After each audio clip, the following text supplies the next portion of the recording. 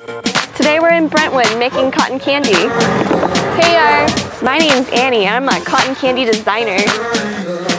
I love doing it. It's really fun. Cotton candy is granulated sugar that gets floated up with hot heat and makes cotton floss. We have 10 unique different flavors. Maple, pina colada, grape, green apple, pink vanilla, cherry, apple, orange, and banana. Cotton candy takes 30 seconds to make, but takes me 5 minutes to create my art. This is Maxwell. Maxwell.